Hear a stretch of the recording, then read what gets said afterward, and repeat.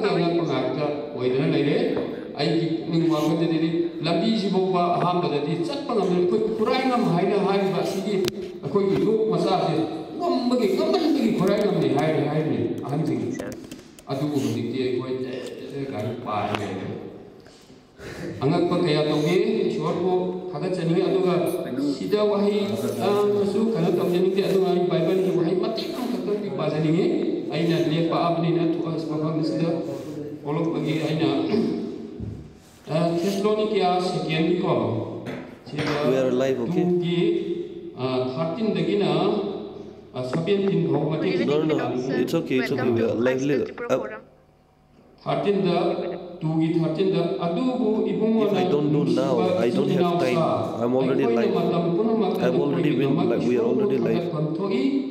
ꯊꯣꯛꯏ ꯃꯔꯝꯗꯤ ꯊꯋꯥꯏꯅ ꯑꯃꯁꯨꯡ ꯑꯆꯨꯝꯕ Oh, ꯑꯗꯨꯕꯨ it's okay, you ꯊꯥꯖꯕꯒꯤ people ꯃꯄꯥꯟꯅ just tell them we are live already. ꯁꯤꯟꯗꯣꯛꯄꯤꯗꯨꯅ ꯑꯔꯥꯟ ꯈꯨꯕꯝ ꯐꯪꯅꯕ ꯏꯁꯣꯔꯅ ꯅꯈꯣꯏꯕꯨ ꯑꯍꯧꯕꯗꯒꯤ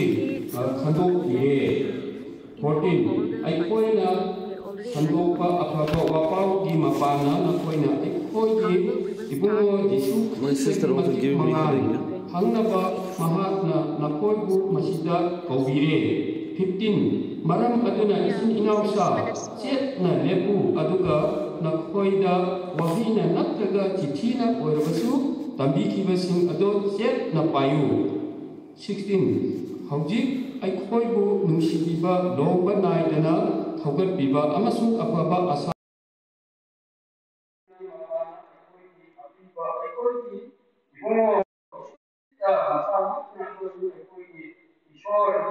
ཁྱི ཕྱད མམ pengahan amasung thabak tawka kuding da na koi gi thamoi bu thabak bishnu amasung leng na na bishnu sigi wahi matek asi chu aina shorbu thagat jaba ka roina na mayam da pajaningdana ai pajabani aduga masida yamna paksana anopadi mayam matam chu dai te aduga toina chu mapung phabasuna te mayamna ꯉꯥꯛꯄꯤꯌꯨ ꯑꯗꯨꯒ ꯑꯩꯍꯥꯛꯅ ꯑꯔꯣꯏꯕꯗ ꯑꯩꯈꯣꯏ ꯃꯌꯥꯝ ꯑꯩꯈꯣꯏ ꯑꯃꯠꯇ ꯑꯣꯏꯕ ꯅꯨꯡꯁꯤ ꯆꯥꯟꯅꯕ ꯑꯗꯨꯒ ꯑꯩꯈꯣꯏ ꯄꯨꯛꯅꯤꯡ ꯍꯣꯡꯉꯦ ꯍꯥꯏꯔꯒ ꯄꯨꯛꯅꯤꯡ ꯋꯥꯈꯜ ꯑꯃꯠꯇ ꯑꯣꯏꯅ ꯊꯋꯥꯏ ꯑꯩꯈꯣꯏ ꯄꯨꯝꯅꯃꯛꯇ ꯏꯁꯣꯔꯅ ꯑꯩꯈꯣꯏ ꯏꯁꯥ ꯏꯁꯥꯗ ꯄꯣꯛꯄꯤꯔꯦ ꯍꯥꯏꯔꯒ ꯑꯩꯈꯣꯏꯕꯨ ꯑꯃꯨꯛꯀ ꯏꯁꯣꯔꯒꯤ ꯊꯧꯒꯜ ꯇꯧꯕ ꯏꯁꯣꯔꯒꯤ ꯊꯕꯛ ꯇꯧꯕ ꯄꯨꯝꯅꯃꯛꯇ 와 효험을 사는 그런데 그게 매일 높은 게 아니라 이념 예전에 그런 통통 애의 현에서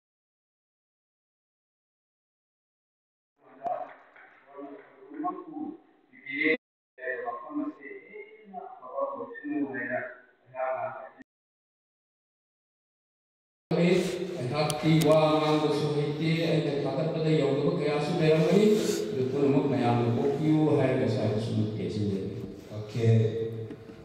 Ok, oggi quindi sister Sindrighi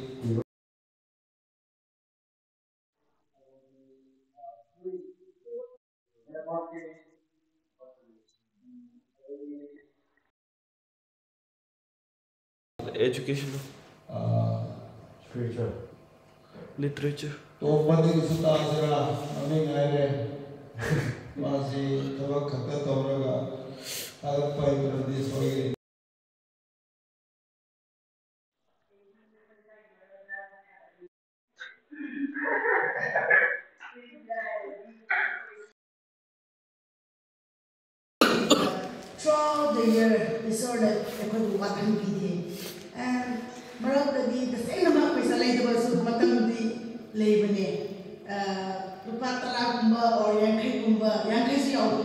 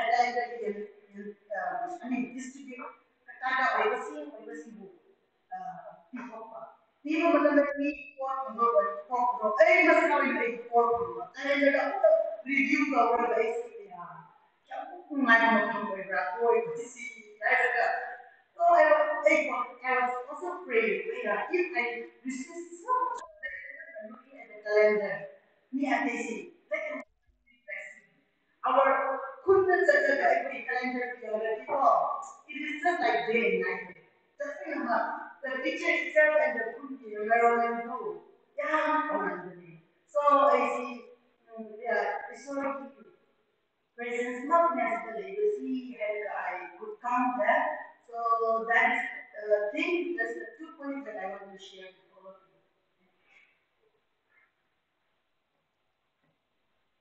Okay. Uh, standing back before. Because in school, you have to have really, otherwise, you five blocks and two faces. Oh. Wow, uh, that's very happy. Uh, avec les OnePC, toutes les décisions de notre maison. Pour le tout du dossier. OK. Tarik Ya. Pokok.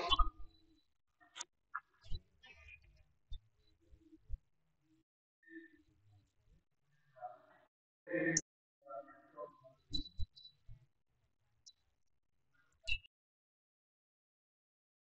from I respect all the members over here. So for that, I'm here. Thank you so much. Thank you, ma'am, for your feedback. Thank you so much. It's nice to be a part of this.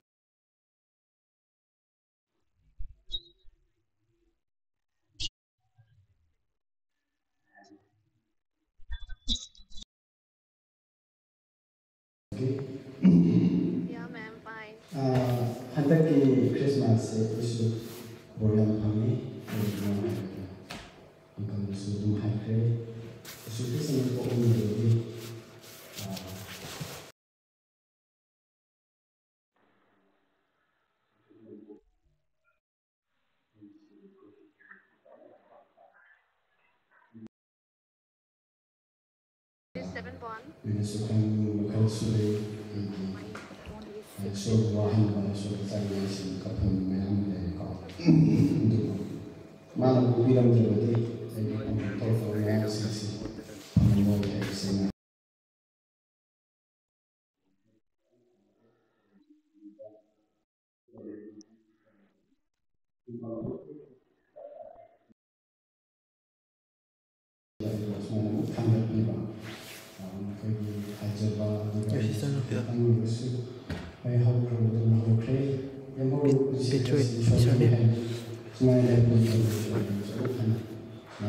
Amen.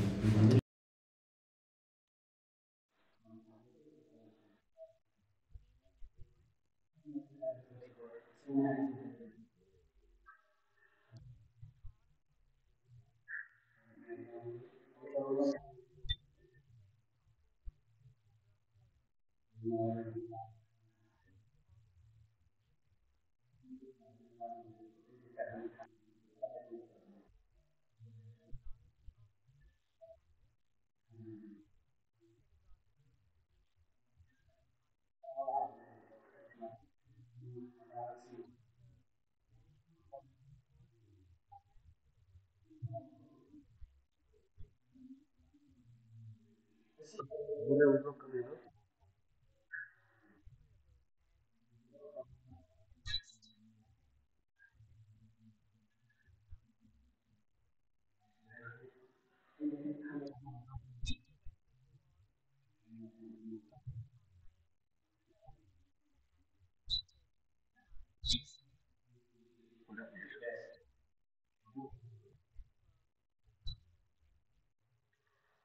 Thank you.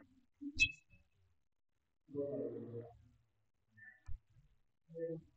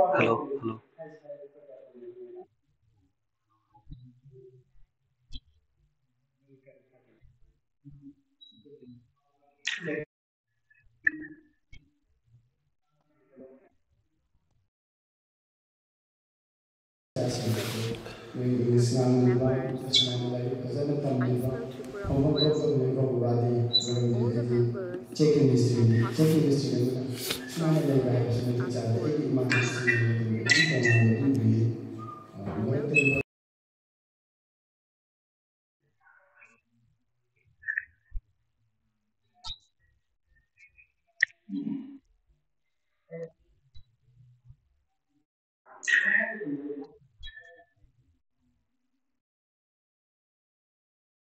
Mereka tahu yang pasti cuma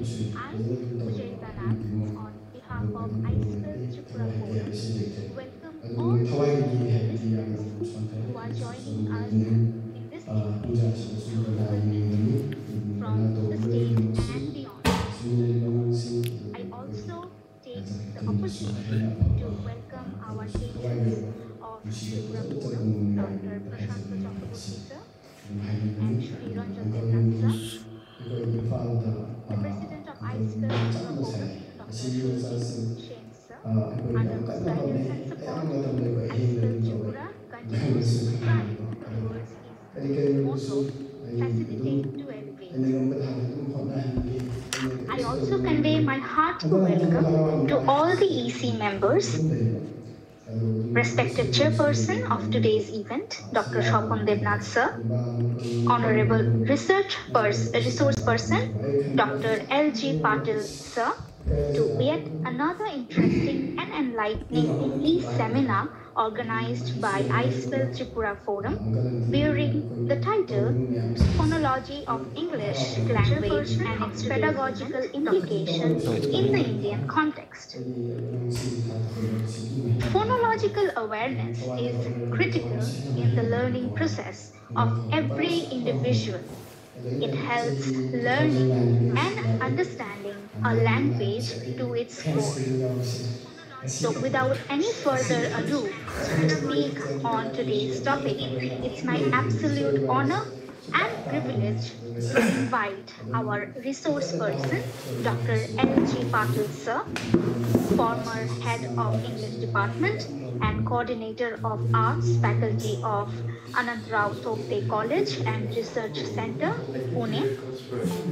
Sir has completed his bachelor's from Vivekananda College, Pune, master's from Fergusson College, Pune, he has PG diploma from Central Institute of English and Foreign Languages, Hyderabad, and PhD from University of Pune. Sir has teaching experience of more than 35 years of UG and 25 years at the PG level.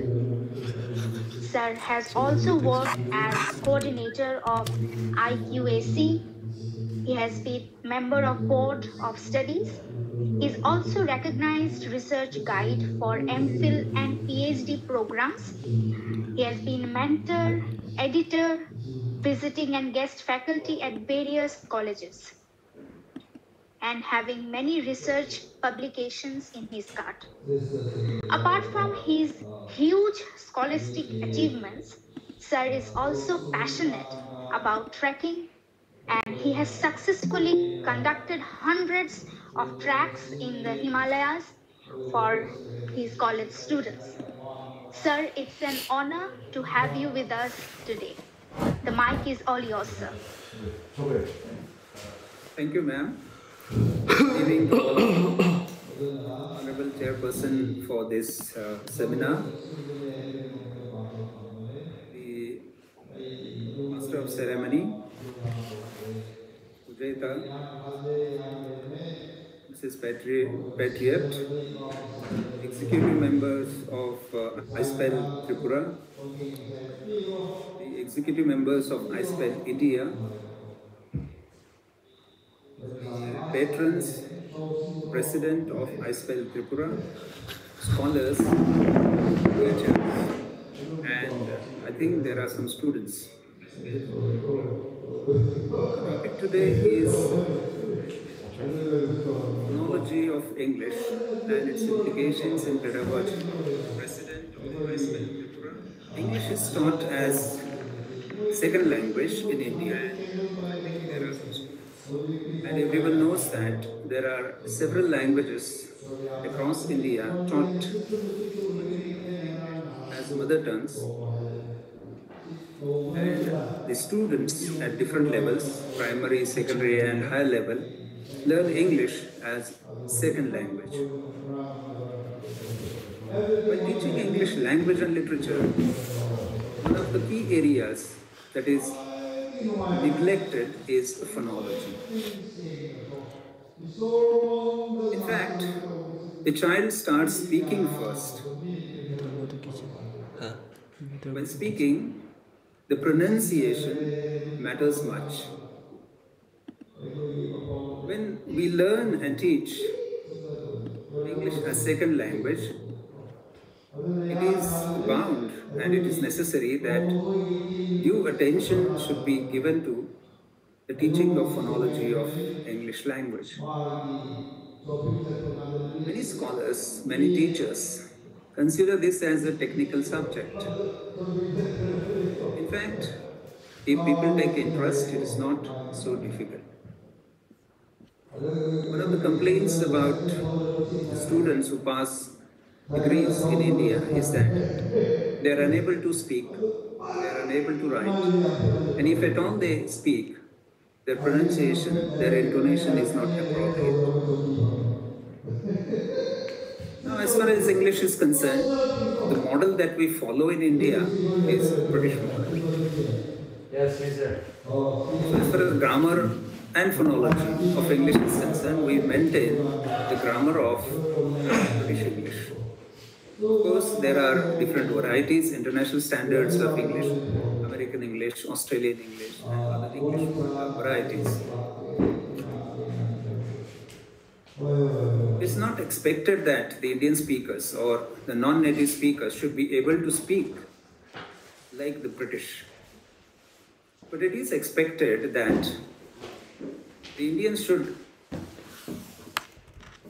leave behind the native pronunciation and come to the educated Indian speakers level so that the people or the speakers from one region having one native, say, influence or interference as far as phonology is concerned should be intelligible to people from other region. And that is the problem. So, right from childhood, in the school days, phonology is to be taken care of in pedagogy of English language.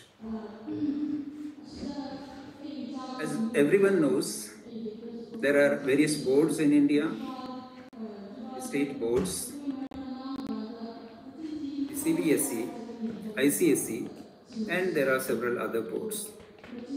The policy makers of these boards make decision about which items are to be included to be taught to the students as far as English language teaching is concerned. It is found that in India, phonology is less taken care of in many parts, many states.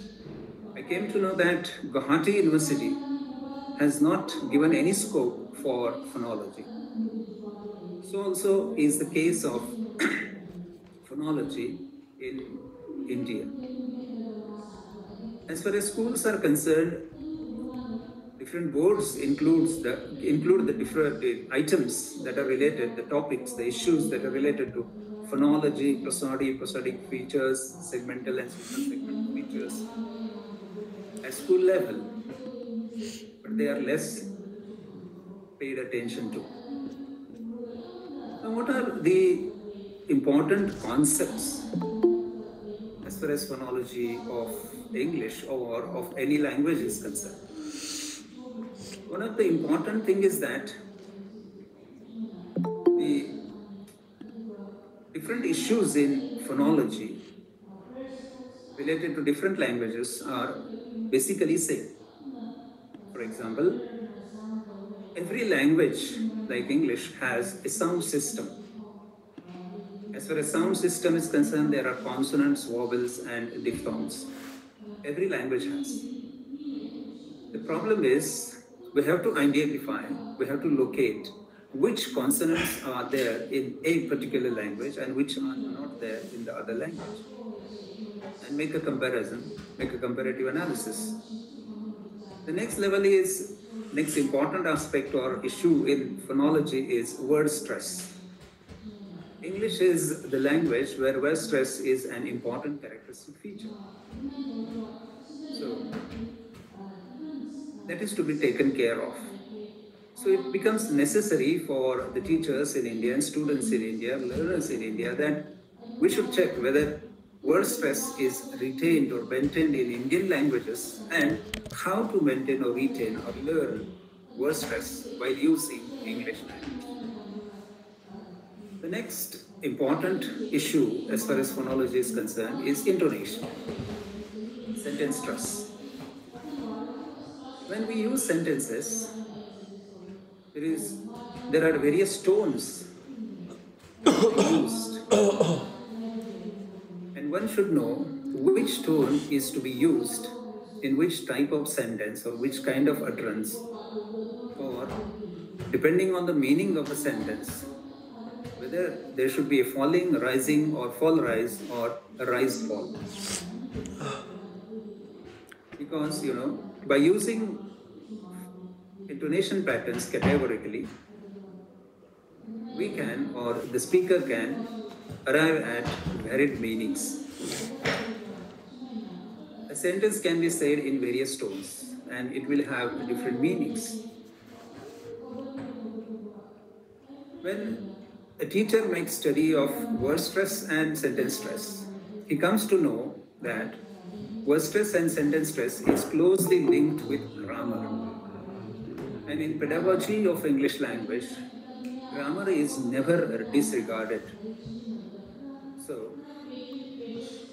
while teaching English at various levels, maybe primary, secondary, or higher level, it is necessary for the teacher of every language to know grammar and phonology of that particular language. A teacher of Bengali should know the grammar of extensive knowledge is essential, the grammar of Bengali, the phonology of Bengali. Otherwise, the teacher won't be a very good teacher of Bengali language. Similarly, when teaching English, it is essential, it is necessary for every teacher of English in India or elsewhere in the world to know about grammar of English and how it is linked to the phonology of English, extensive knowledge of phonology. In fact, if we pay very careful attention, you'll see that there are limited, restricted issues in phonology. And as you know that one can go deep into the study of every, say, topic of study. So similarly, when we go deep into phonology of English, there are several issues that come up. But it is essential that at least at the surface level, or to some deeper level, one should have the knowledge of different issues in phonology of English language. It is also necessary in Indian context that the teacher must know the phonology of and the grammar of the native language because the teachers in India teach to the students and generally it is uh, found that coming from different language backgrounds and generally it is found that the teachers and students have the same native language.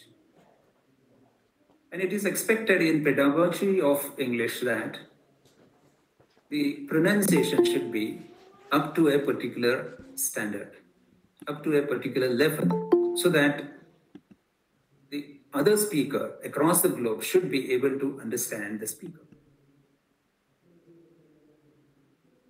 It is essential and it becomes rather easier for the teacher while teaching English that if he knows the phonology of the native language or language of the students, then he can make a comparative analysis. And then the study and teaching of phonology becomes quite easier. Now let us, let us turn to different concepts in a little detail. Of course, this is a vast topic. There are several issues I cannot touch all the topics or all the issues in phonology. But let me touch upon certain issues and try to see how we can make a comparison between the native languages and English language. I'll take some of the examples from Marathi, Bengali, Kokborok, Assamese. As far as India is concerned, there are four families of languages Indo-Aryan, Dravidian, Austroasiatic, and uh, Sino-Tibetan. So all the languages are affiliated to or attached to or they belong to the same, these four families. Majority of the languages in India have similar phonological structure with some differences.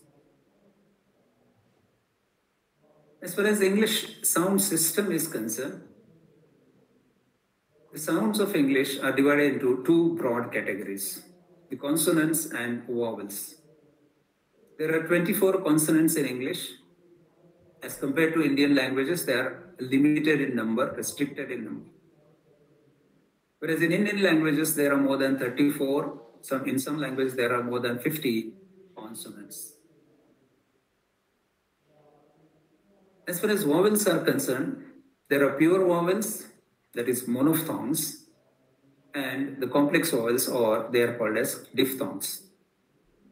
There are 12 pure vowels in English and 8 diphthongs in English. As far as Marathi is concerned, the same is with Bengali and Assamese. There are 11 vowels. Out of these, two are diphthongs. It means that there are nine monophthongs and two diphthongs. In English, there are 12 plus 8, 20. So, if we make a careful study, we'll come to know that these large number of diphthongs frequently occur in different words and it becomes difficult for the Indian speakers to pronounce them as the native speakers. What does the speaker do then?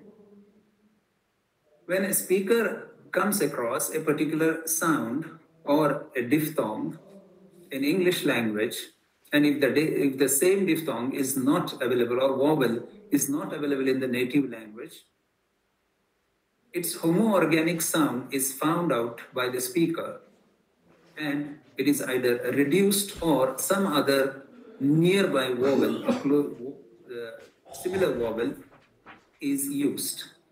For example, a is a vowel in British English, which is absent in a lot of Indian languages. It becomes difficult for the Indian speakers generally, who are uneducated speakers, to pronounce those words. Because you know, uneducated uh, speakers in India or uneducated people in India also use a lot of words of English in the native language. So it becomes an difficult for them to pronounce such a word having a. But nowadays, it is the practice of the Indian learners, right from the childhood, that in the schools they are taught, and so it becomes easier. When I talk to so many teachers and ask them about vowels, how many vowels are there?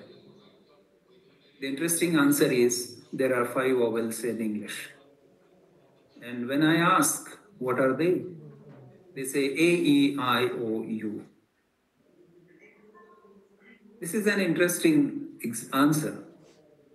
Actually, A, E, I, O, U are not vowels. They are letters. And these are the letters that are used in spelling the words. And they represent different vowels in English language. This important fact is never taught to the learners or students. As you know that one of the important characteristic features of English is that whatever the speakers say, they do not write. And whatever they write, they do not speak. That is why the letters and sounds do not correlate or correspond. Whereas languages like Sanskrit or Indian languages are taken, whatever we say, we go on writing. So there is a correspondence between the sounds and the letters of the script. Whereas in English, it is not so. So in English, there are two scripts. One is for spelling, one uh, two alphabets. One is spelling alphabet, which is popularly known from A to Z, whereas the other alphabet is phonetic alphabet. Phonetic alphabet is used in dictionaries for showing or indicating transcription or exact pronunciation. The moment you open a good dictionary, like Oxford Advanced Learners Dictionary, nowadays mobile apps are available and it is essential for the teachers to download these apps as well as suggest the students to download the apps. Where there is one option where you can listen the exact British pronunciation of the concerned word. Similarly, if you take printed dictionary, you'll see that the first entry of the word is its spelling. Immediately you'll notice that there is stress marked and the stress is marked by a vertical bar above and before the syllable to which it refers. Then after the word, the next entry is written in slanting lines. Phonemic or phonetic transcription is written in slanting lines. And that transcription is given by using phonetic alphabet. There is an International Phonetic Association alphabet, IPA symbols are used, which represent different sounds in different languages, including English language. So, the moment you open the dictionary, you come across the pronunciation, exact pronunciation. It is essential for all the teachers because we are all conscious teachers and we should be very careful while teaching in the classroom. And of course, when we come across a, a, a difficulty in pronunciation or a problem in pronunciation, or sometimes students or some other people pronounce it differently, and we have to check with ourselves or with someone else where, who is correct or which pronunciation is correct. We should form the habit of looking into a good dictionary for correct pronunciation. Interesting uh, example, there are several examples. Interesting example is the word computer, C O M P U T E R. I came to know in my college, I talked to so many students and uh, I collected the data and the pronunciations, varied pronunciations of computer are computer, computer, computer, computer, computer. Several pronunciations are there. Even the teachers, even the scholars, even the scholars also mispronounce. So, what is the correct or right pronunciation? And we should check into dictionary and suggest it or say uh, guide the other people or to inform the other people about the proper pronunciation. So, so it is the duty of the teacher to uh, teach the students the pronunciation of every word. But forming a good habit for pronunci- uh, checking the pronunciation is very important. In, in, in bilingual dictionary, there are a lot of bilingual dictionaries in India, standard dictionaries also. The transcription is given in the native language, and that also helps a lot. So it is essential that it should be a proper dictionary, it should be standard, it should be appropriate one. One should check it. As far as sounds are concerned, we can make a comparison while teaching in the classroom. And the consonants are in English Paba, Tada, Kaga, Chaja, Fafa, Thada, Saza, Shaja, A, Mananga, La. These are the consonants in English. At higher level, how they are pronounced, how they are grouped together according to the place and manner of articulation, which consonants are voiceless and which are voiced, and what is meant by voicing and devoicing or not voicing. All these details are given in the syllabus. Every good teacher of language should know all these. I've seen that there are a lot of teachers of English liter- literature, but there are very few teachers of English language. Criticism is also another area which is less paid attention to by the teachers in India, language teachers, particularly English language teachers in India. Both the topics are essential, indispensable, and necessary for us. As far as vowels, now you can check with uh, the local language. For example, if you take the case of Kokborok, you'll see that in Kokborok language, p, p, b, p, p, b, these are bilabial.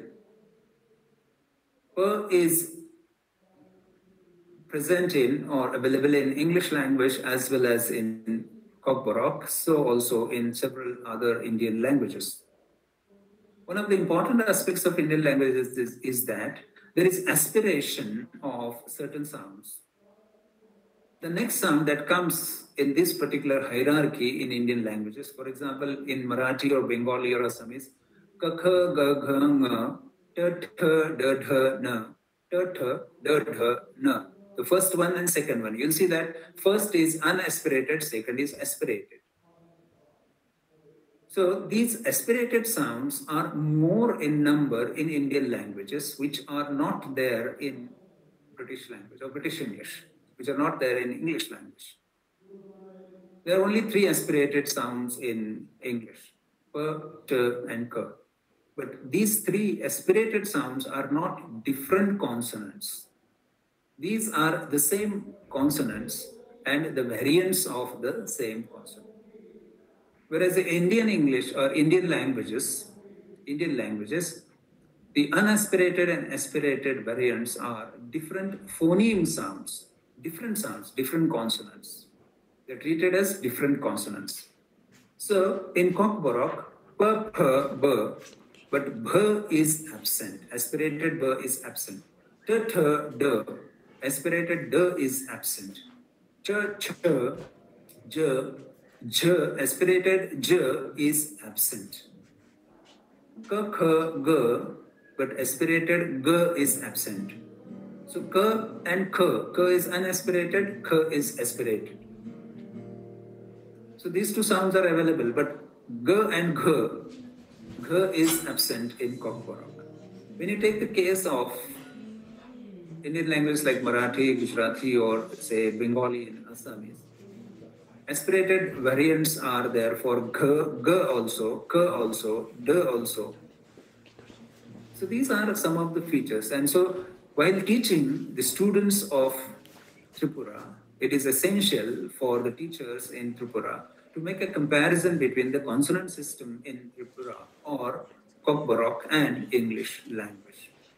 Similarly, one can make a, comparison between the vowels of English and vowels of Kokborok or vowels of any other language or native language that is uh, the language of the students or learners.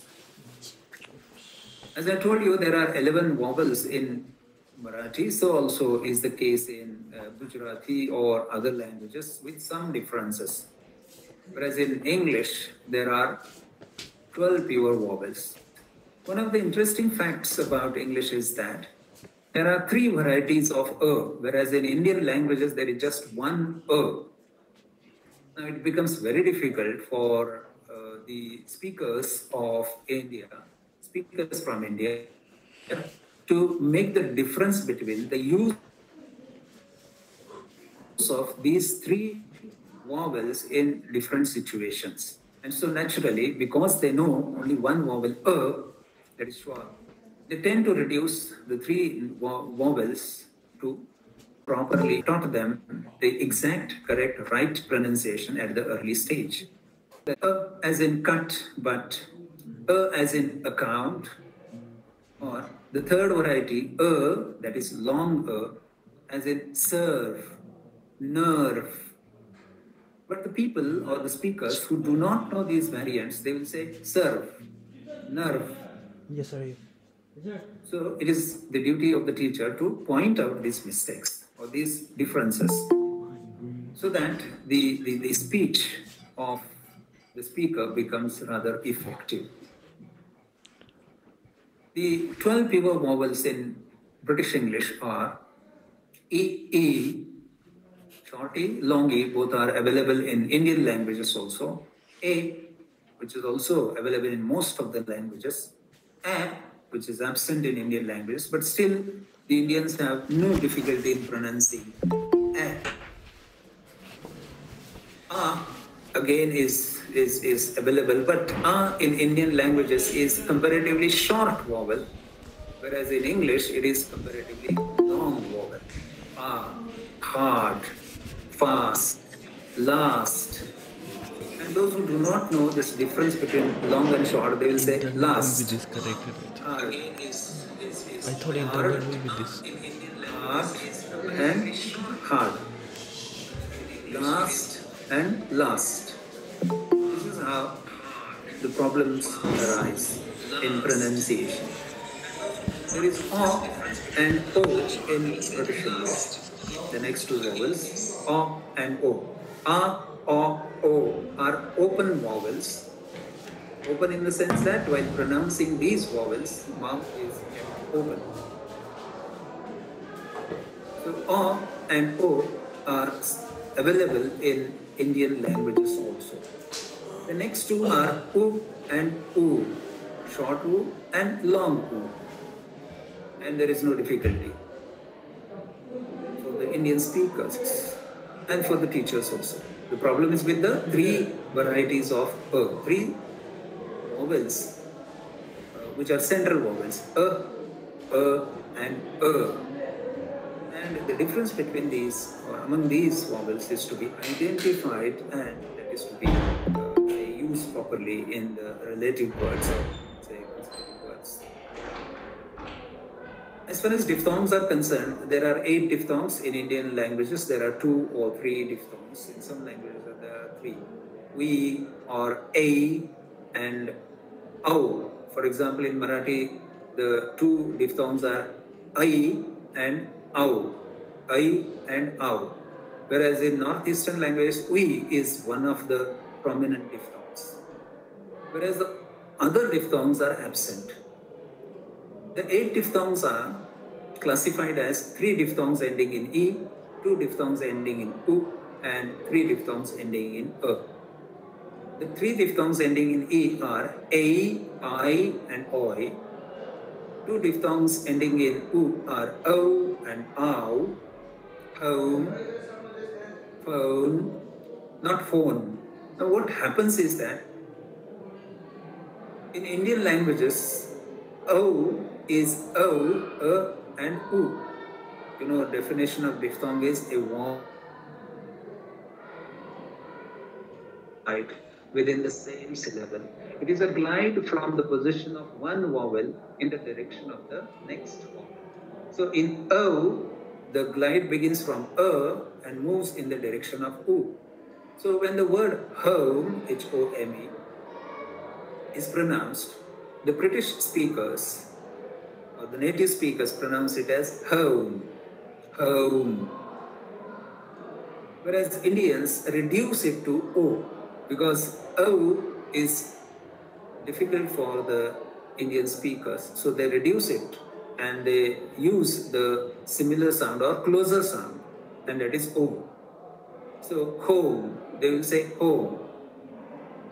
So this minor difference, in fact it's not a minor but it's a major difference, is to be identified by the learner as well as the teacher. So that's why the uh, forming of habit of using a good dictionary for pronunciation is essential. The three diphthongs ending in E are A, I, and fine, for example, A, say, day, Thursday. We say Thursday, Sunday, not Sunday. It is Sunday, day. So these uh, pronunciation differences or differences in pronunciation are to be identified. And this helps to alleviate uh, the, the quality of the speech. The three diphthongs ending in a are a, ua, ear, and ear. Ear as in here, near, etc. Tear, fear. There are several examples and these are frequently used. Vowels are frequently used.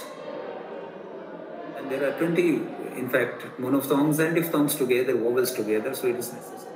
Ear, air, air, fair, near, hair, etc. And ua, poor, poor, etc. So, the knowledge of diphthongs is essential these are to be included by the, the board uh, of studies in, in, in, different universities and schools and uh, at various levels. The next important concept in phonology is word stress. This is an important characteristic feature of English language, which is not there in Indian languages. In Indian languages, words are never stressed. That is, Words are made of syllables. Words can have one or many syllables. There may be two, three, four. If there are two or more than two syllables, not all the syllables are equally prominent in native British speech. One of them, either the first or second, is given more prominence than the other. And so, the word stress as a pattern, as, as a system, becomes an important characteristic feature of English language. These are all characteristic features of a particular language like English. So similarly, every language has its own characteristic features. As far as syntactic pattern, morphology or phonetics is concerned, every language has its own characteristic features. And because we are the masters of a particular language, we should acquire mastery over it. So, word stress is an important feature of English language And it is essential for the teacher to teach all this. So the words like Sunday, the stress is on Sunday, first syllable, Sunday. Table, English, answer. So the stress is on the first syllable. If you take a word like syllable, the stress is on the second syllable, the word, the, the sound la, syllable. Not syllable, not English, not English, but English. Answer, not answer, not answer, not even answer, that is level tone. In Indian languages, level tone is maintained as far as word stress is concerned. So there is no concept of tone, uh, stress, or accent, word accent in Indian languages. So uh, when the Indians speak, they do not use words, uh, they do not speak words as per the uh, say stress pattern. And you know that uh, which words are to be stressed? The content words. The content words in English are to be stressed. And the content words are nouns, all the nouns, all the verbs, all the adverbs, and adjectives are to be stressed. Whereas some other words like some pronouns, for example, demonstrative or interrogative pronouns are sometimes, depending on the context, depending on the meaning, they are stressed. Otherwise, they are not stressed. Now, the question is which syllable is to be stressed? And you know that syllable is an, is, is one of the important concepts in, in every language, of course. And it is important in a language where stress pattern occurs. Syllable is unit of utterance in a word. A word can have one syllable or several syllables. And syllable is made of one vowel and plus or minus consonants preceding or following. So the central sound in a syllable is vowel or diphthong. In syllable or syllabification, diphthongs are treated as vowels. So when we take the word like English, in is one syllable, lish is another syllable. So these are to be separately pronounced. A slight gap is there between the two parts of the word, that is two syllables.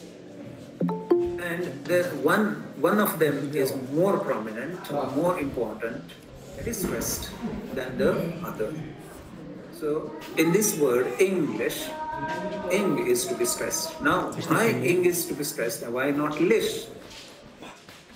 The answer goes back to the nature of English. Because the languages come out of the experience or use of the people or the users in society or community.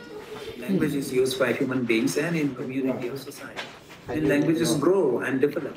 Change their features. They will not hear So you. similarly, when If he's speaking how? English came into say Video show of the existence, I'm muted. English acquired its own characteristics video. From the you will, you will, last talk uh, now not here this one of tunza uh, and this for video. Okay. She on the day. Eh? Okay, so good for a video to share yours of extra don. Adum ma get the thing. Ma ji not the top one. And a lot of apps, dictionary apps are essential and they are helping guides for us to see which syllable is to be stressed. So in this way, syllable, uh, sorry, stress or accent, word stress or word accent is an important feature. There are a lot of words in English which are used as either verb or say, sorry, subject, uh, verb or say a, a noun or adjective. For example, the words like present and present. Ten boys were present, present in the classroom. I presented him with.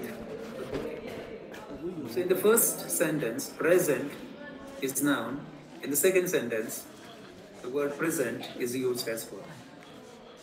Now, when there are a lot of words in English which are used either as, as, as verbs or nouns, same word. But the pronunciation is different. The word stress is different. If the word is used as noun, the stress is on the first syllable. If the word is used as a verb, the stress is on the second syllable. And most of these words are bisyllabic. Bi means two, two syllabic. Disyllabic, you can say. Disyllabic. Monosyllabic, disyllabic, and polysyllabic words. So in disyllabic words, we see that there are a lot of words which are used as nouns or verbs, and sometimes adjectives. If the word is used as adjective, the stress is on the first syllable. For example, subject and subject. So if stress changes, sometimes the pronunciation also changes.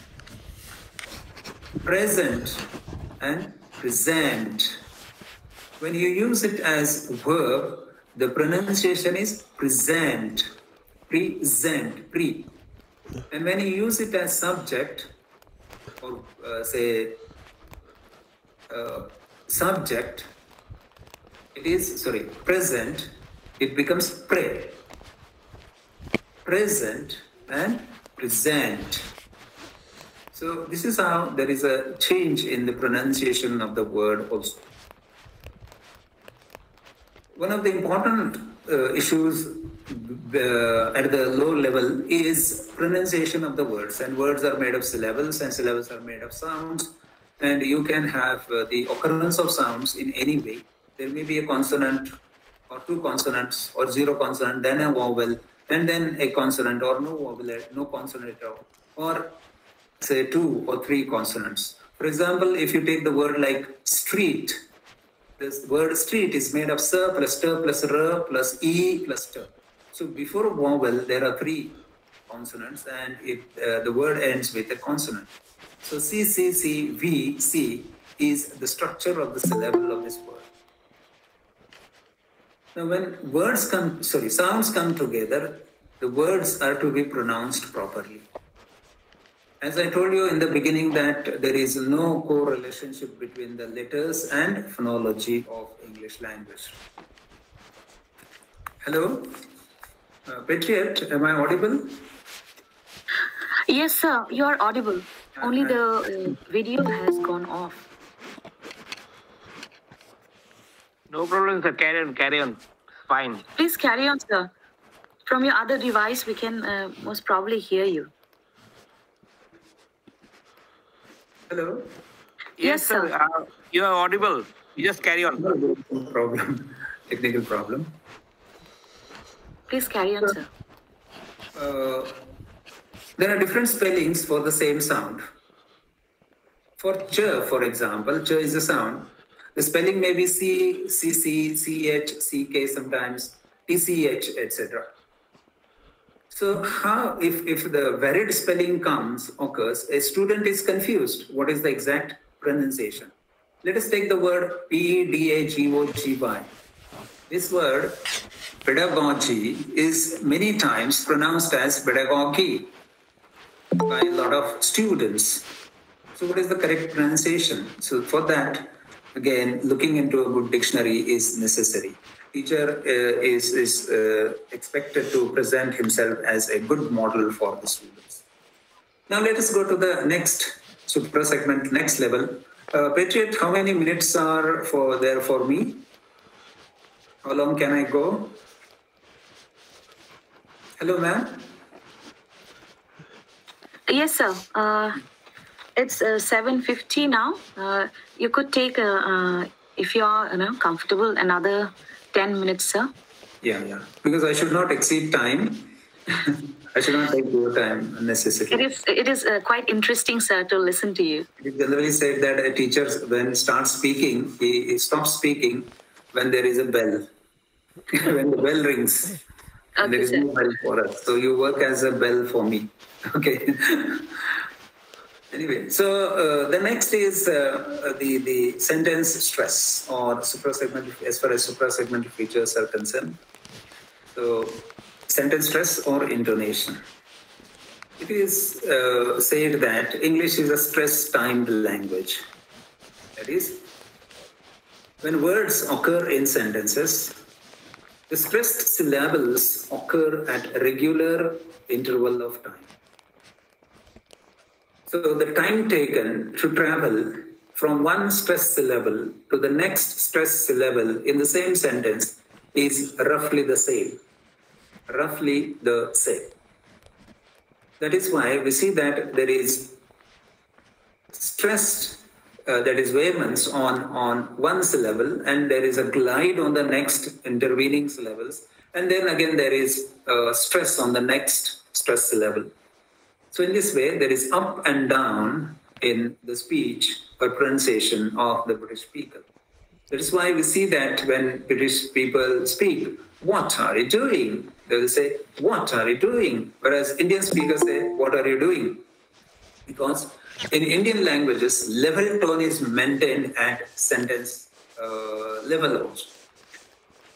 Of course, in Indian English or Indian languages, to some extent, tones are maintained, tones are there. For example, if there is a question, generally rising tone is used in the native language. Of course, a lot of uh, uh, varied tones are used, uh, saying or laying stress or more weightage on particular set of words is important. In order to carry the meaning, in order to carry the impact of the meaning of the words, there is no fixed theory for that. Whereas English is concerned, there is a fixed pattern. And we see that there are uh, that there is a central stress level, which is called as the key word of the sentence. The key word or the important word occurs generally at the end of the sentence, and that is generally the content word. Once again, we see that, well, in a sentence, which words are to be stressed? The content words are to be stressed. And the content words are nouns, verbs, adverbs, and adjectives are to be stressed. Whereas the intervening words, grammatical words like pronouns, prepositions, conjunctions, interjections are not generally stressed. And that is why when a speaker, native speaker, speaks, his speech occurs like up and down. There are ups and downs. It is rhythmic. It is something like uh, musical. And so it is, uh, English is called as a rhythmic language. It is stress timed language. Now, what are the sentence, uh, sorry, intonation patterns used in English language? The intonation patterns, the major two intonation patterns are falling tone and rising tone and the remaining two are fall rise and rise and fall together or split. Falling tone is used in a particular types of sentences. For example, for this we should uh, have the knowledge of different types of sentences and every teacher knows that there are a fixed number of types of sentences. These are statements, and statements are divided into two broad categories, positive and negative. Whereas from the phonological perspective, they are they are uh, divided as statements uh, which are emotional and statements which are not emotional. Questions. Next type is there are two types of questions. One is yes no type, verbal type of question, which begins with Have you finished? Has he gone, gone home? Are you there? Did you work properly? Did you complete your assignments? So all these are verbal questions. The other type of question is WH, which begins with WH words like what, when, why, how, whenever, whatever, however, etc. Again, WH questions from phonological perspective uh, are grouped into two categories. One is the emotional WH question and unemotional. Many times we see that, well, the speakers, while talking in a official situation, they are not emotional about, but they ask questions. Uh, when did you finish this? Where is the book? Where are these papers? But sometimes a person gets emotional and says, Where are the papers? So intonation comes in. varied intonation different intonation pattern comes in. So WH questions are important. So it's very easy to uh, keep in mind. I'll tell you at the end how to keep this in mind. The next type of sentence is command. And you know there are commands. The next is requests. Requests are generally emotional and so they carry a particular type of, say, stress or intonation and exclamations finally. There are two types of intonation patterns. One is falling tone and rising tone. When you use a statement without any emotional implication, falling tone is used. I have a lot of students. He is a teacher. He is a teacher. The falling tone is on teacher. The last important word carries the intonation the golden rule is last important, generally, generally, last important word carries this uh, intonation. Of course, the speaker can lay stress on any other word depending on the implied meaning or expected meaning. For example, yesterday I went to Mumbai. If I lay stress on yesterday, yesterday I went to Mumbai. So I'm talking about the time, the date, not two days back. This way, I went to Mumbai. Now, I, the word I is important, no one else, my friend, not my friend, or my brother, or someone else. Though I is a pronoun, it is stressed here. That is why I said that, well, uh, grammatical words are not generally pronounced, but sometimes, depending on the context, depending on the meaning, they can be stressed or they can be, uh, intonation can be used. Yesterday I went to Mumbai. Yesterday I went to Mumbai. I'm talking about my going. I'm not talking about any other activity. I'm talking about my action of going over there. Yesterday I went to Mumbai, not Chennai, not Hyderabad. So in this way, uh, different meanings can be arrived at by using different intonation or say, say nucleus. It is called as nucleus, making or shifting the nucleus. You can shift the nucleus to different words and make them as nucleus and bring in a desired impact. And this is done effectively in dramatics, in film industry, in soap opera, where people lay stress on a particular word and that is what is important from their perspective while speaking in the context. So generally, generally, the statement carries the falling tone without any emotional implication. If the statement has emotional implication, it can be said with rising tone. The questions, verbal questions, verbal questions generally carry rising tone.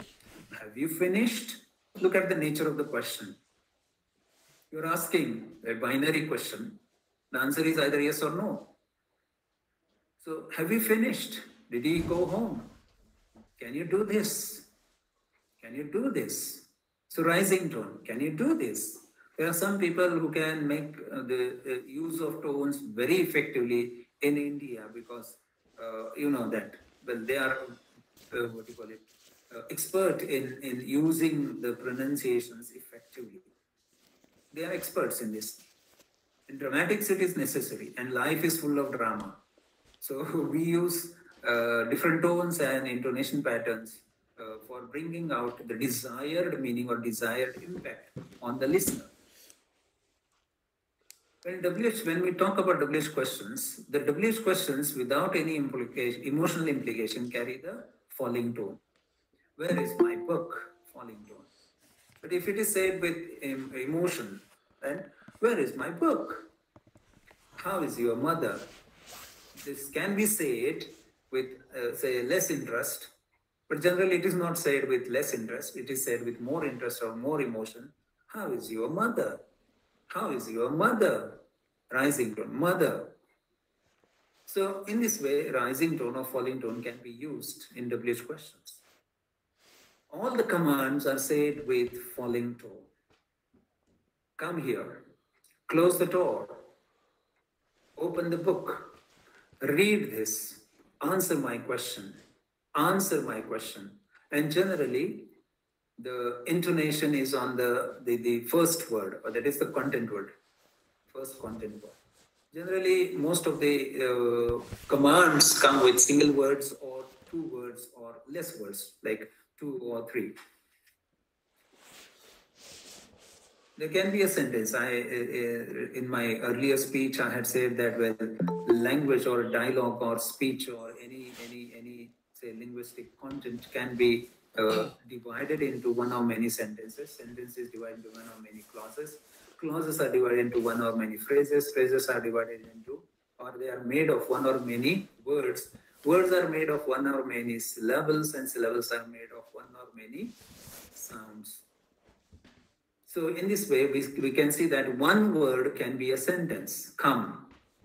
Come is an order. So come can be a sentence. So look at it as a sentence.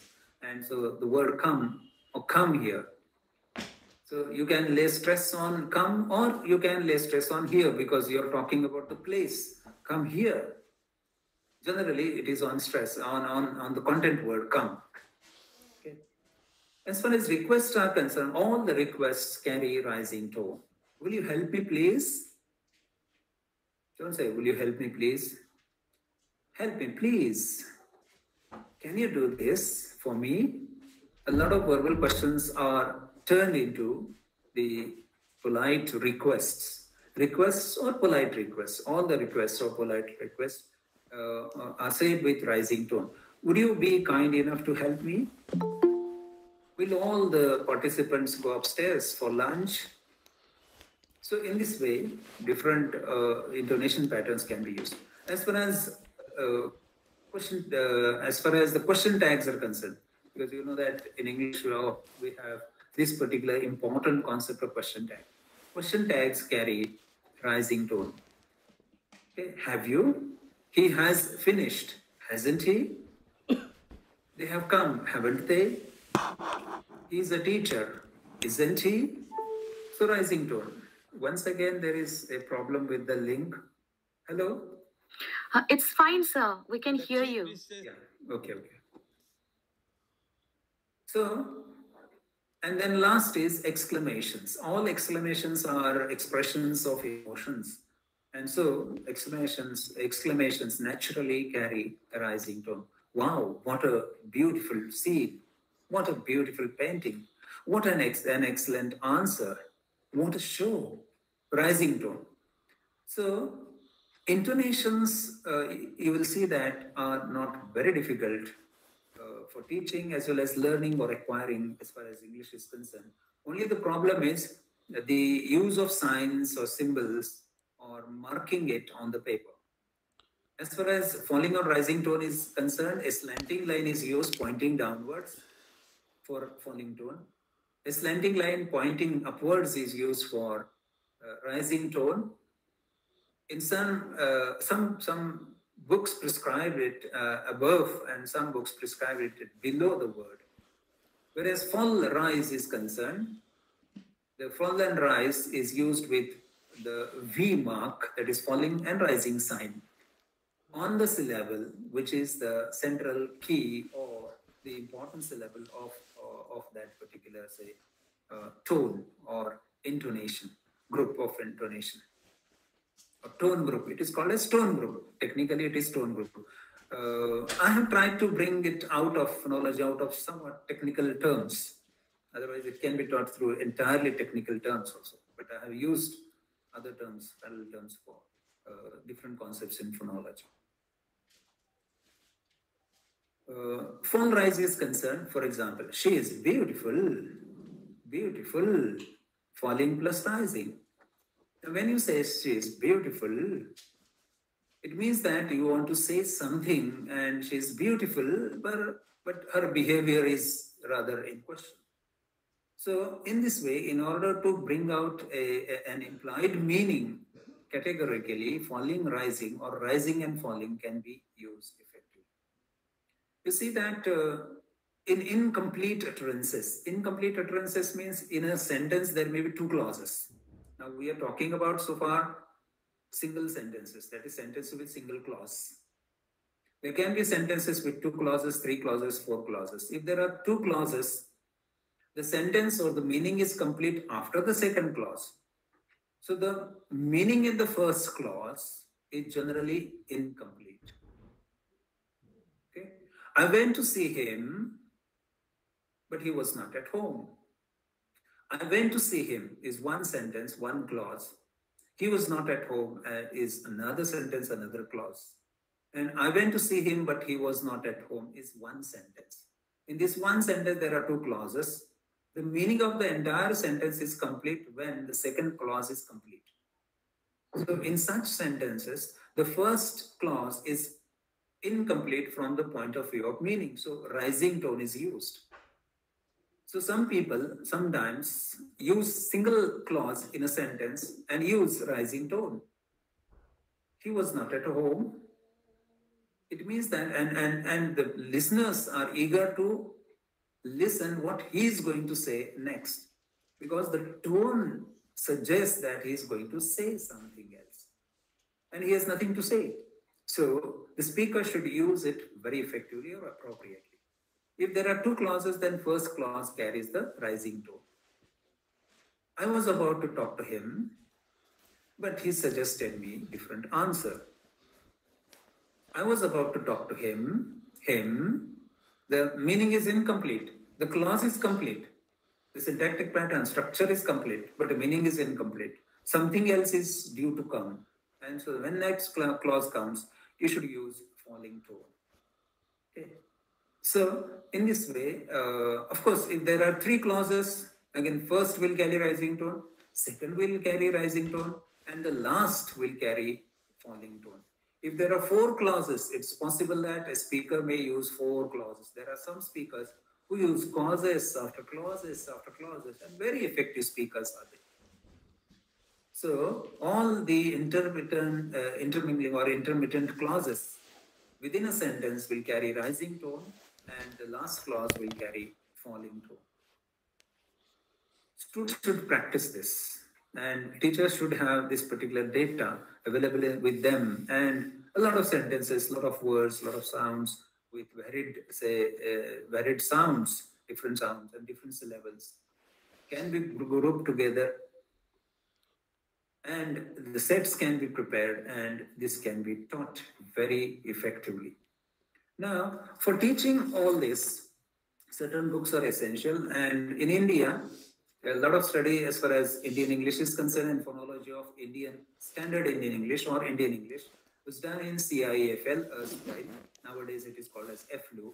And the great scholars like Prabhakar, Prabhakar Babu, T. Balasubramanian, Bansal, Harrison, Parashar, and, and so many, uh, Dhamija and Sethi, coming from different states of India, who were great scholars, who were great scholars of English language, and they came to CIFL and they started taking projects to talk about the phonology of English or stress pattern or intonation patterns of Indian English. And they, they made the study of the native languages and they came out with their own research projects. One can visit those research projects and some of them came with books. For example, T. Balasubramanian came out with a very famous book it is prescribed in almost all the universities of India, a textbook of English phonetics for India by T. Balasubramanian. I was uh, lucky enough to be the student of him, and uh, we had certain projects uh, for uh, All India Radio Hyderabad while I was staying there. The next one is a very important book, very simple, by Bansal and Harrison, Spoken English. This is a very good book. There is a lot of practice so all the students and teachers can have this book and can use this book. Uh, in Tripura University, it is not used in the syllabus. The book from England is by Daniel Jones. And Daniel Jones says The Pronunciation of English is a very important book which gives you the, the basics of the exact, say, no, notions of uh, pronunciation of English language uh, as far as British English is concerned. There is again a very good book with a lot of exercise. There, of course, students need a lot of exercise. Teachers say teachers are monitors, guides, Uh, and, and so many uh, adjectives can be used or, or for the teachers, nouns can be used for the teachers. So teacher, a good teacher is a teacher who gives a lot of skill, drill, or a lot of practice to the students, a lot of assignments to the students. And this book by Jay Sethi and Dhamija. Again, these were my teachers, Jay Sethi and Dhamija, P.V. Dhamija. A course in practical, uh, a course in phonetics and spoken English. A course in phonetics and spoken English, which gives you a lot of practical, uh, say, exercises, and this can be used. Of course, Peter Roach's uh, English phonetics and phonology can be used. Of course, these are the books coming from England, and there are different kinds of dictionaries. Every college should have, every teacher of English should have this dictionary. English pronunciation dictionary. This will give you the two kinds of pronunciations across the globe, and that is British pronunciation and American pronunciation. You know, uh, there is no meaning given in this dictionary, only pronunciation and all the details about the pronunciation and variants or varieties of say pronunciation of certain sounds or words or stress pattern and British and American pronunciation is given. Of course, uh, of course, the Oxford Dictionary also uh, notifies British as well as American pronunciation. You know, British and uh, American uh, English differs from British English in pronunciation. Second, in lexicology, certain words are different, and some grammatical rules are variant. So they will say la, last, not last. They will say fast, not fast. So some, some of such differences can be identified. Of course, there is a difference in certain uh, use of certain vowels. So these can be uh, located. Of course, there are a lot of uh, say reading materials prepared by concerned universities. So when the university scholars or in board of members or uh, people in the boards prescribe a particular topic, they generally think of which reading materials are to be prescribed. And so they, uh, the experts in the university prepare certain materials.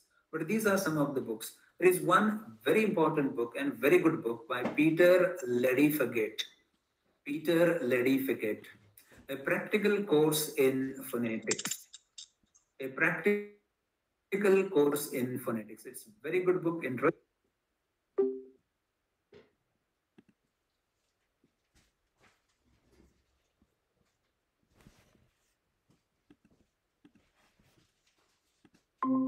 but not for UG students.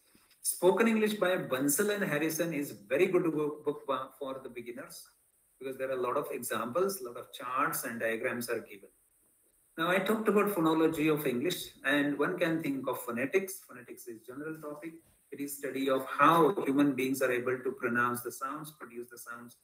The moment we want to speak or say something, idea is conceived in the brain, the nervous system, the message, linguistic message is carried to the nervous system, to the relative organs. The lungs work, start working. The muscles compress or expand the lungs. The air is taken in. Part of the air is pushed here in the vocal cords. In case of certain sounds, the vocal cords do not vibrate, whereas in case of many sounds, vocal cords vibrate. The air comes into the mouth, and the mouth articulates organs in mouth, lips, teeth, tongue, different parts of tongue, articulate the sounds, and oral or nasal or nasalized sounds are produced. So this is what happens in case of every normal speaker across the globe. The same apparatus, same speech mechanism, same nervous system is used. Only the thing is that articulation, the organization of sounds in a particular language varies from organizations of sounds in the other language. Now, there are a lot of issues that can be covered, but in pedagogy of uh, English language, certainly phonology and the study of phonology plays a very significant role. As you know, once again, let me tell you that there are so many languages in India, and it becomes very difficult for the people to uh, be intelligible to to other people or the speak, particularly the foreign listeners the British uh, speakers complain that, or British people complain that a lot of Indians uh, are unintelligible. And that is the, the problem is because of phonology. And uh, their pronunciations are uh, deeply rooted in native languages. It is called as language, uh, say, convergence or language influence, interference of language, interference of mother tongue over the other tongue. So we should take care of that and we should come at a particular level where we can be intelligible to the others. So with these words, let me end my uh, speech. So I thank the organizers, I thank the executive members of iSPELL India and the president and chairperson and the members of iSPELL Tripura Forum. I thank uh, Patricia Madam for uh, giving me I thank everyone in the, in the in the organizing committee for giving me a chance to speak at this on this forum. Uh, finally, let me thank all the listeners uh, because uh, listeners are very important, and uh, it is my urgent request that you should not uh, pay less attention to phonology. Take it rather, uh, of course, happily interesting. It is quite interesting. A lot of students say to me that, sir, it is interesting. It is interesting, no doubt. Now, interesting means that you are developing a positive attitude. So develop a positive attitude to grammar of English and phonology, and of course criticism, because I am teacher of criticism also, and I see that well, a lot of universities do not prescribe syllabus in criticism. A lot of teachers also say that they teach literature, but they do not want to teach criticism. They know nothing about criticism, and it is fun that how can you teach literature without criticism? Similarly, it is funny to say that we can teach language without the knowledge of uh, phonology. That is that is that is a strange thing. So we should have the knowledge of phonology. Thank you, thank you one and all, and I wish you all a very happy New Year. Thank you, ma'am. Uh, thank you so much, sir, for your wonderful deliberation. We were glued to your lecture throughout. Uh, now, I would like to request our esteemed uh, participants uh, if they have any queries or any question to ask our resource person, they can turn on the mic and put up their question directly to sir. Yes, if there is any, if there is any query or questions to ask to him, uh, you may proceed. If there is Or you can write ma'am, will you read in the chat from the chat box? Yes, yes, yes. Sure, sir.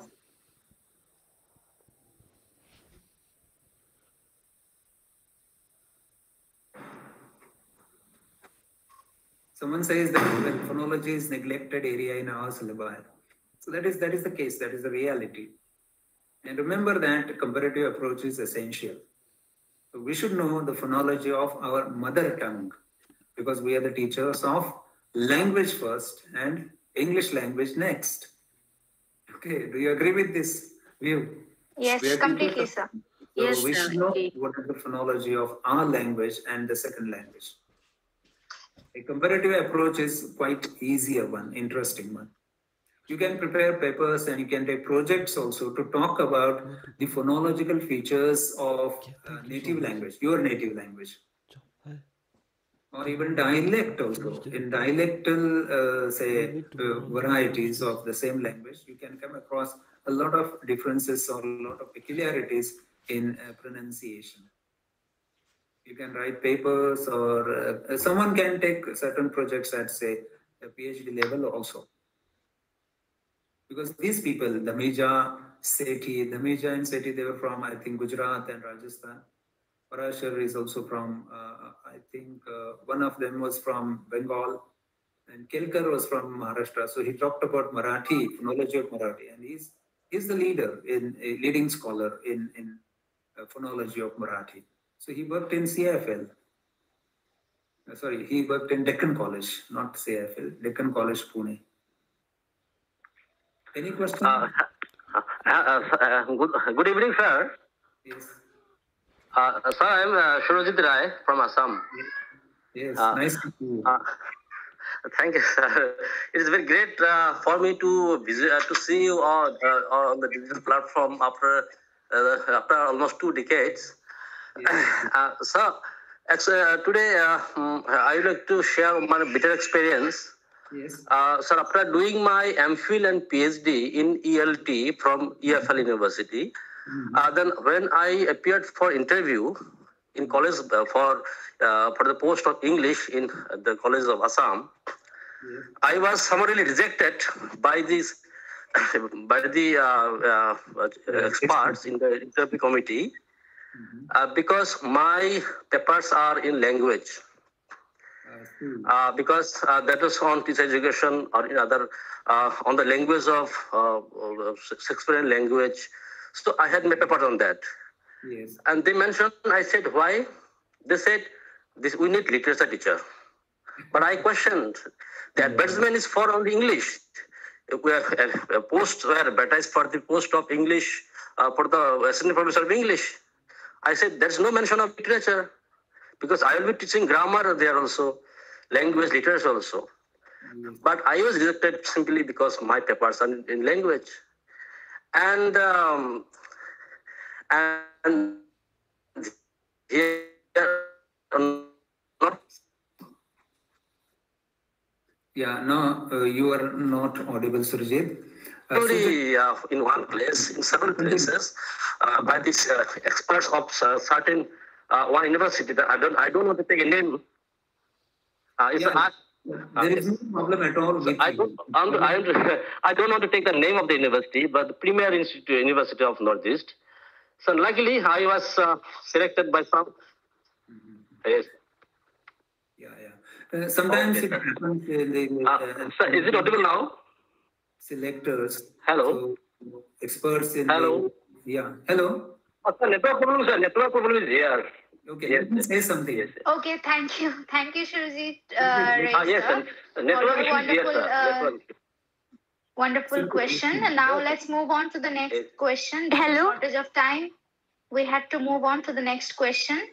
Um, Shamolima Saikia, uh, I hope I pronounced it correctly.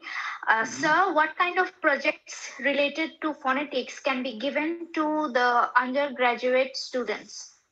Yeah, of course. These projects, projects in the sense, uh, I mean, whether assignments, short assignments, or longer assignments.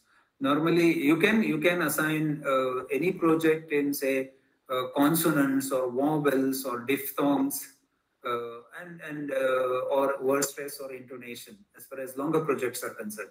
As far as shorter projects are concerned, you can give them a list of words. For example, 20 words. This was the practice in CIEFL also, EFLU also we used to give the list of words and ask the students to transcribe them phonemically. In the beginning, give them shorter words, words with a limited number of sounds, then go for the medium level words, and then go for the higher level words. So you can, in the beginning, start with monosyllabic words, and then disyllabic, and then trisyllabic.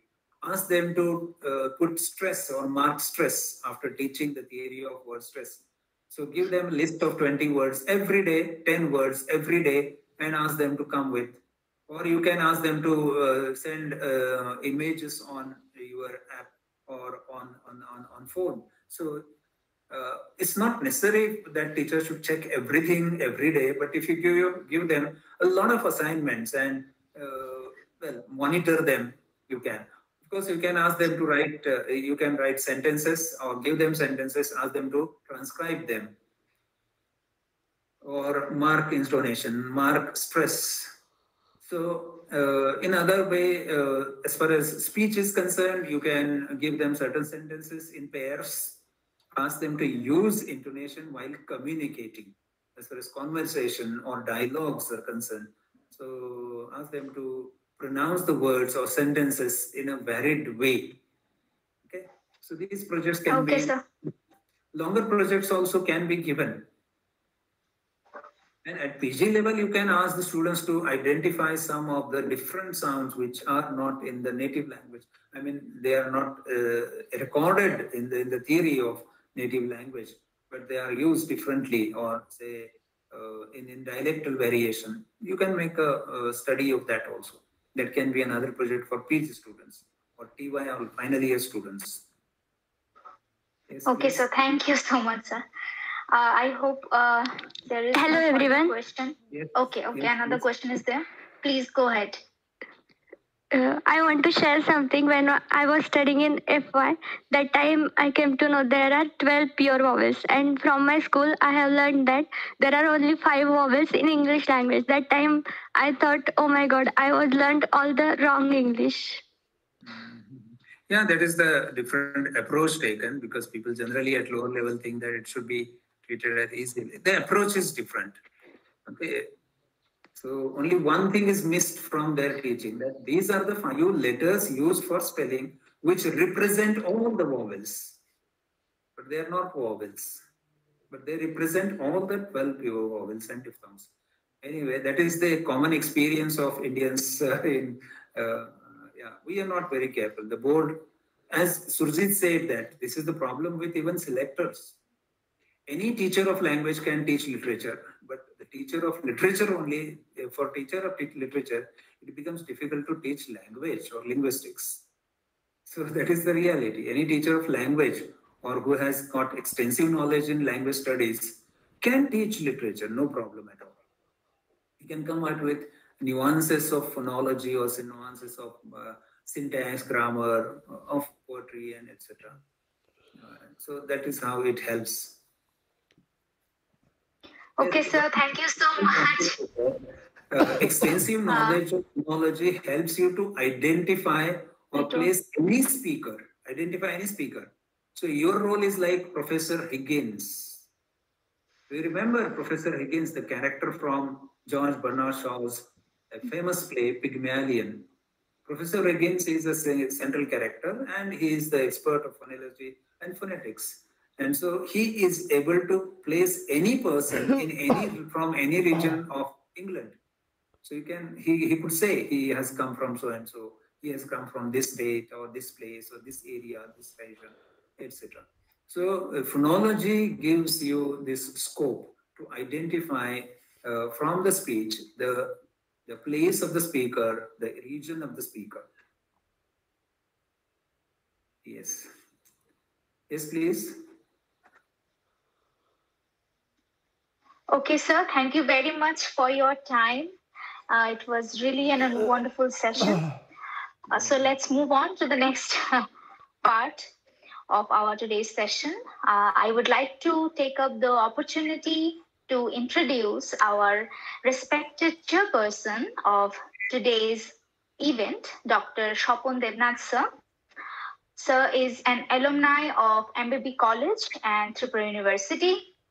He was awarded PhD degree in linguistics by Tripura University in the year 2011. Presently, he is serving in the prestigious Ramakrishna Mission Vidyalaya, Vivek Nagar, as postgraduate teacher. And also, he's involved in doing individual research in linguistics and literature. Sir has published renowned journals, research papers, and he has many books in his cart. Sir, it's my honor to invite you to speak up on this occasion. Shopun sir, the mic is yours. Okay, good evening, uh, everybody. Um, Good actually, evening, this is a wonderful opportunity to uh, listen to uh, Sir, our respected person, Sir. And uh, the way he presented and the way he so simply analyzed the phonology of English and uh, the way it is to be uh, implemented as far as um, Indian students are concerned. Uh, so it is uh, really uh, a treat uh, for us, uh, particularly for me as a student of linguistics.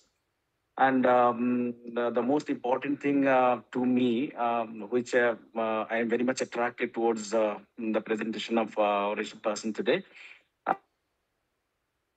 is uh, uh, how to uh, pedagogically implement it, uh, uh, the phonology of English, whereas uh, we go for multilingual classroom. And uh, the simplest way suggested by Sir is uh, to um, uh, go for comparison the there is uh, the set of uh, sounds uh, selected by English and the set of sounds uh, selected by um, particularly Kokborok and uh, Bangla, particularly Tripura Bangla, and uh, different dialectal variations also. So, but it is uh, really very essential uh, uh, to go for um, the differences of sound patterns um, uh, for different uh, languages with English. and how to tackle the missing sounds in our mother tongue, particularly um, so many sounds are there in English, so many sounds are not there in our mother tongue.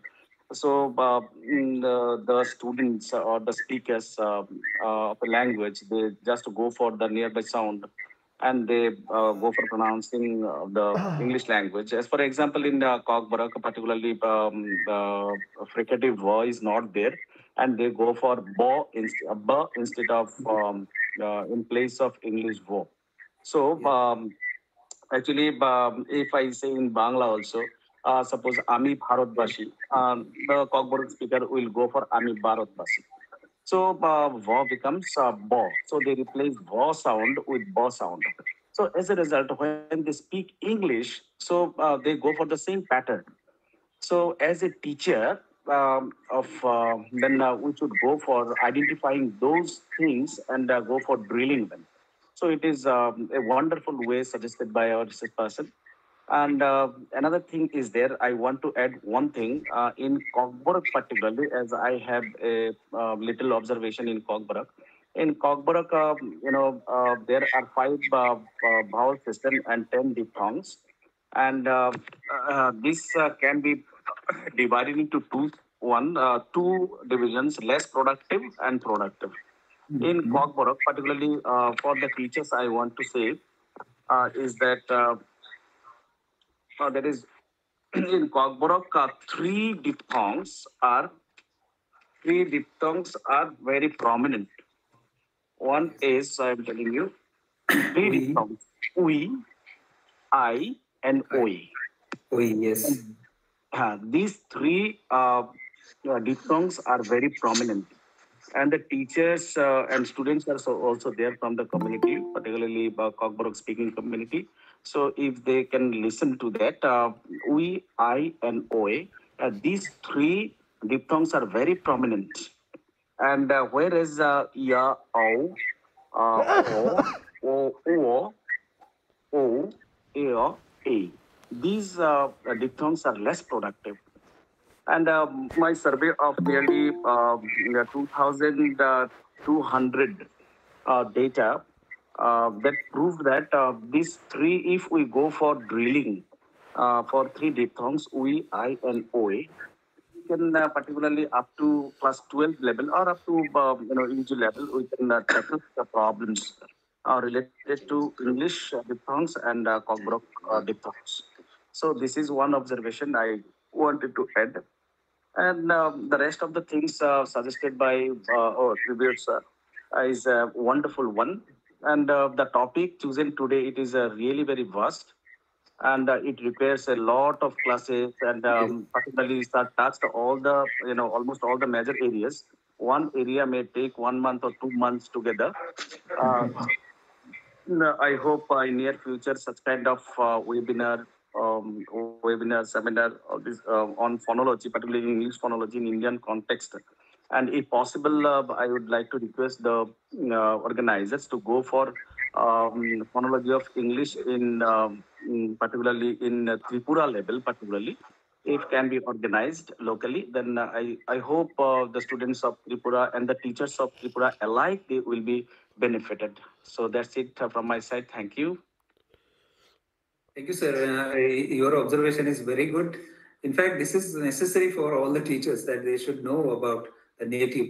And uh, as you suggested that well, uh, if uh, several seminars can be organized, because so many seminars were organized during pandemic online, and I saw that there were handful of just handful of uh, say seminars, almost nil.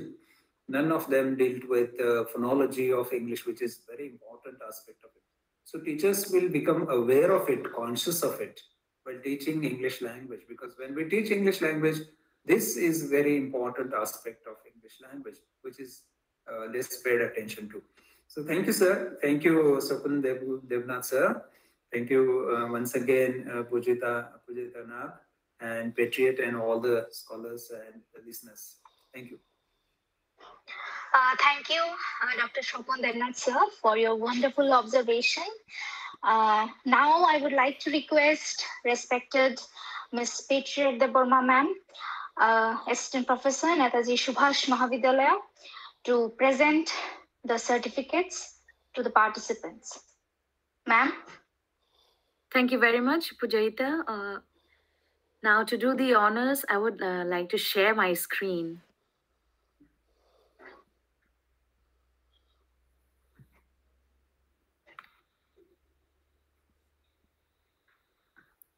Please give me some time.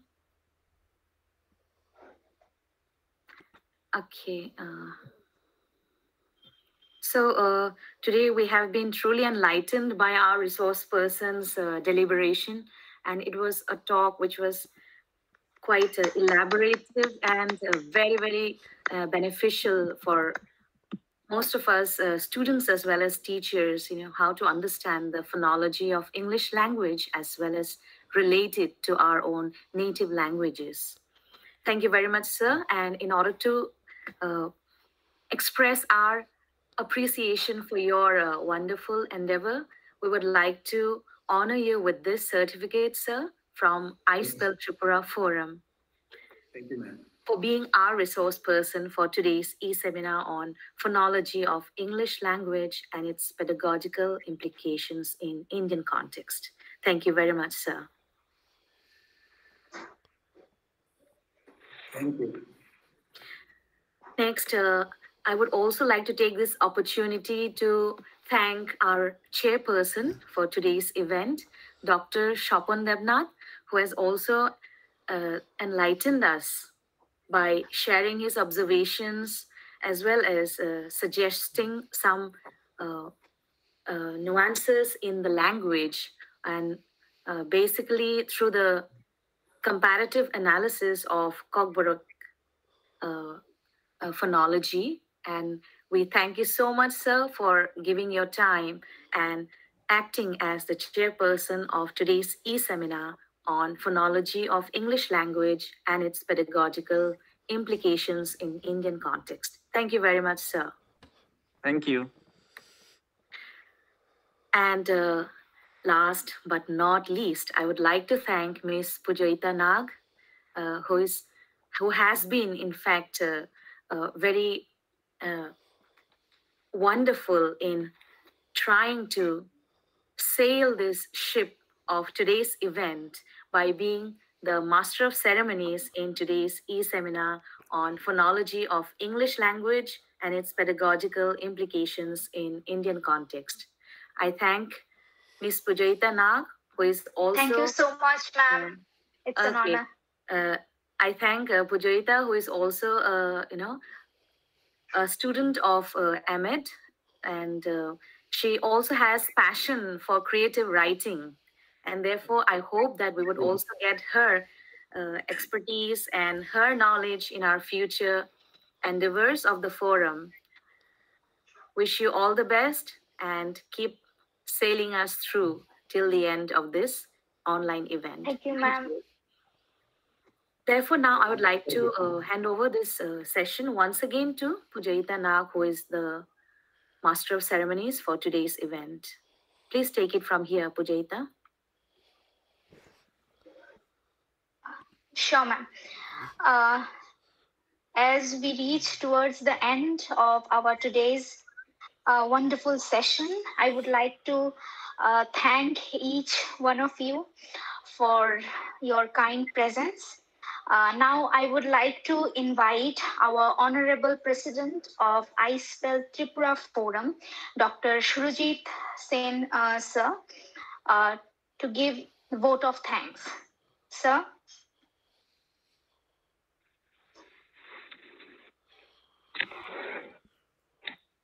Thank you,